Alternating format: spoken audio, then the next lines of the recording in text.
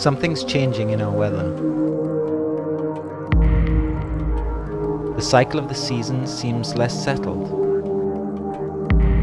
Hot days are even hotter. Heavy rains fall at strange times, and storms have a new intensity. Many of us are so busy with our modern lives that we hardly notice these changes. But people who really study the weather, the farmers, the fishermen, the scientists, they know these changes are real. Many now believe we could be on the edge of a major transformation to the Earth's climate system that could dramatically change our lives and maybe affect our very survival.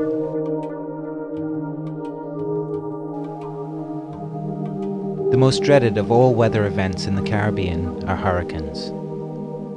Fueled by warm tropical seas, these enormous weather systems unleash torrential rains and powerful winds, causing widespread devastation.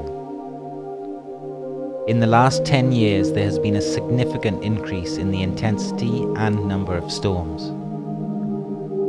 Although this increase is partly due to the natural cycle of hurricanes, Recent studies suggest that climate change is also playing a significant role in the development of stronger and more frequent storms in our region. And it only takes one hurricane because it's a high impact event. It only takes one hurricane to cause catastrophic damage on any particular island. The point is we will continue to be under threat by a very severe system which can cause millions and upon billions of dollars of damage in our region. And we ought to be prepared. Hurricanes are not the only kind of extreme weather event that has been causing widespread destruction in recent years. In 2005, Guyana experienced the worst flooding the country has seen in living memory. A combination of torrential rain and high spring tides left thousands stranded in Georgetown and on the east coast. These floods uh, resulted from um, rainfall within a shortened period, which was the most intense and highest levels to be recorded in Guyana's history. Persons thought that climate change, well, it was something about the future. It was something about the scientists. After 2005 and 2006 in Ghana, it became a real thing and something that moved, as I said, at the top of government's agenda. Further inland, on the Essequibo River, people have also noticed changes in the pattern of the rains. The traditionally dry months are no longer as dry as they once were. The seasons appear to be merging with each other. Because years ago, time like now, used to get sheer sun, you know, just be breezy and a lot of sun. But now you can't predict it that good because rain, rain.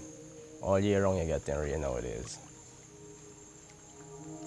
Across the region, people are noticing other changes in our weather, particularly an increase in the number of very hot days. Years gone by, it was hot, but not as hot as it is. It's like you're baking when you're walking in the sun. And the Bible tells you that in the last days, you'll be seeing signs and wonders. So our elders believe that these are some of the signs and wonders that we are seeing. But what we have to tell them is that God made all things bright and beautiful, and it is our responsibility to keep it beautiful for His return. So we can't just sit back and say because it's the signs of time, we're not doing anything about it. Because we have to take care of ourselves, our community, and our country, because climate change is everybody's business.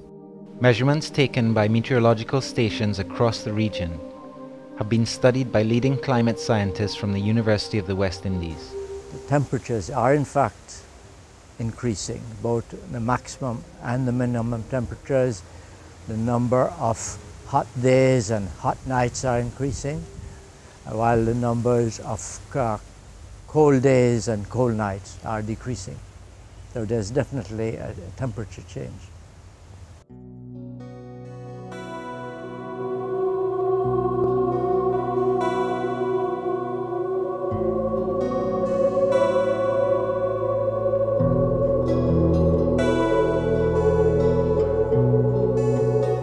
we are not the only ones feeling the changes in our weather.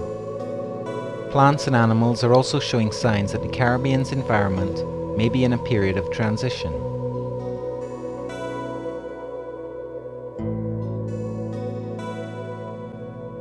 One of the most sensitive of all animals to temperature is coral.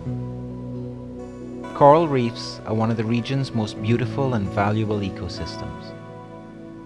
Tourists come from all over the world to marvel at the spectacular diversity of life that can be found in these underwater oases.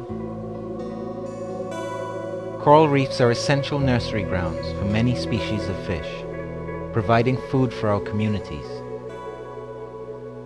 Reefs also produce the white sand on our beaches and protect the shoreline from the constant pounding of ocean swells.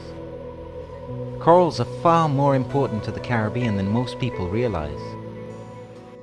In 2005, exceptionally warm sea temperatures had a devastating effect on the reefs of the eastern Caribbean, causing the worst mass coral bleaching ever seen in the region. Everything turned white, everything. Brain coral, star coral, finger coral, everything was white.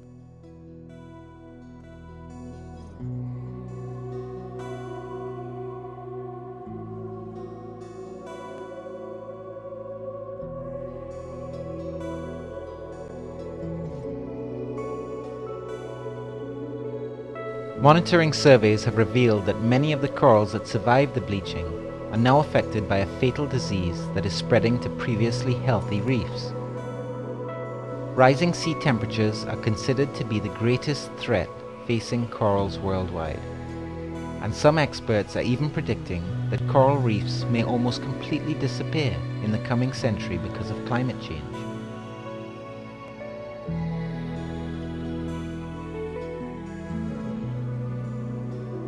The survival of our precious reefs hangs in the balance and will depend on how quickly corals can adapt to warmer conditions. There are signs that some types of corals are less prone to bleaching, but their battle for survival is often made harder by pollution and siltation, which have already claimed a third of Caribbean reefs. If we want our reefs to survive, we need to help them by keeping our coastal waters clean and clear.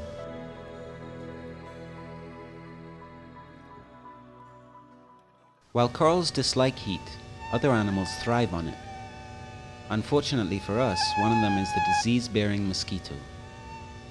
Warm temperatures speed up the reproduction rates of mosquitoes and shorten their life cycle, increasing the incidence of diseases such as dengue and malaria.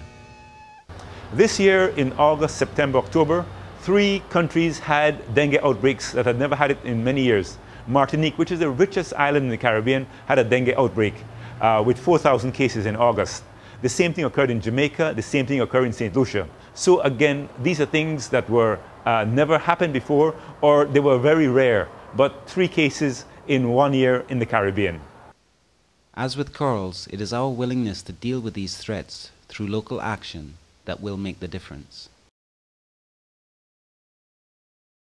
I know that uh, we tend to look to governments and say, well, why aren't they spraying with insecticides and all that? But the truth is, that has very little effectiveness. We found in our studies that um, a lot of, sometimes the mosquitoes are already resistant to some of the chemicals. And secondly, the chemical doesn't penetrate to where the mosquitoes are resting. So that is a very little, that is sort of palliative. What we really can be do, doing though is eliminating the habitats, getting rid of the containers like drums and buckets and uh, sources of uh, plants which are producing mosquitoes and uh, be very vigilant around this time when they're likely to be dengue being, being transmitted. So I think that is the more important thing for us to do.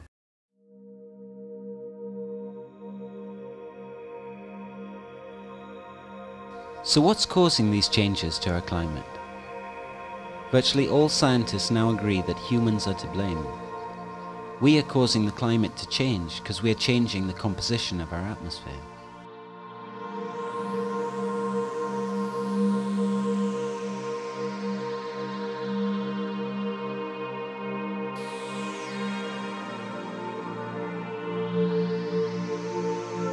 The Earth is surrounded by a thin layer of gas called the atmosphere. This layer of gas is really our survival blanket. It protects us from harmful radiation while allowing some radiation through the clear atmosphere to the surface of the Earth. Much of this radiation is reflected back into space, but some is absorbed by the atmosphere and released as heat or infrared radiation.